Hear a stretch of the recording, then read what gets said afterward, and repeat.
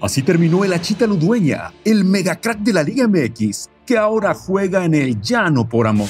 Daniel Emanuel Ludueña, mejor conocido como el Achita, es uno de los mejores mediocampistas que hemos visto en la Liga MX. Un crack total, absoluto, que brilló con su tiro de media distancia certero, por sus goles y su toque mágico con el que ponía pases que parecían con la mano.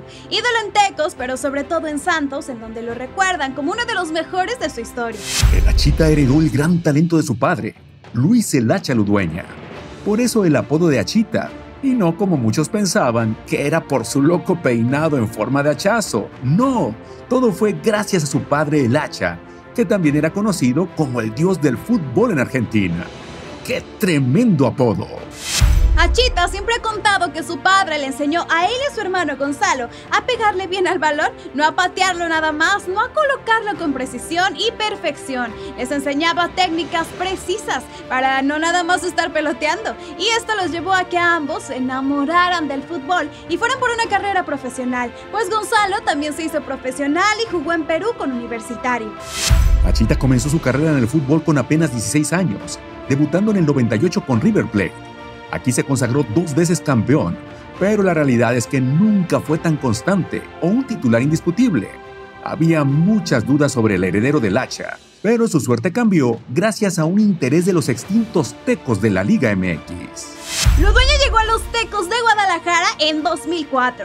Con los emplumados jugó 70 partidos, anotó 30 goles y fue clave para que Tecos llegara a una final que terminó perdiendo con el América. Pero lo que hizo Ludueña fue enamorar con su magia. Ese recorte y disparo de fuera del área, la liga lo comenzó a respetar y se ganó muchos seguidores en Guadalajara. Pero para 2007 dio un salto en su carrera. Santos apostó por él para ser parte del proyecto para salvarse del descenso. En esa temporada lograron salvarse a penitas, pero lo hicieron. Pero el siguiente torneo fue el mejor en la carrera de la Chita, 21 partidos y 18 goles, incluido un hat-trick en semis, aunque justo perdieron en esa ronda con Pumas. Ese año ganó el Balón de Oro como el mejor de la Liga MX.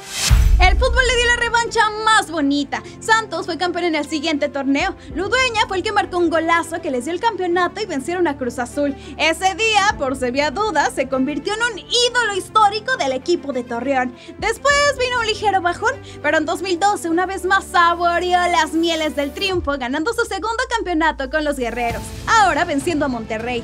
Justo en ese torneo dijo adiós y se fue con una marca goleadora de 72 goles con la playera verde y blanca. Su destino, Pachuca.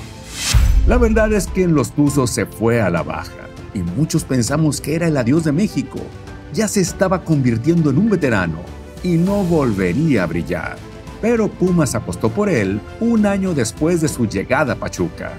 En su primer torneo tapó muchas bocas, anotó un doblete inolvidable para él contra América y llegó hasta la final, la cual perdieron con Tigres. En 2016 se fue a Argentina para fichar con Talleres, el equipo de su papá, del que es ídolo, del que es el dios del fútbol, pero no pudo trascender, se lesionó, se puso en mal estado físico. Apenas jugó cuatro partidos y el club terminó rescindiéndole el contrato.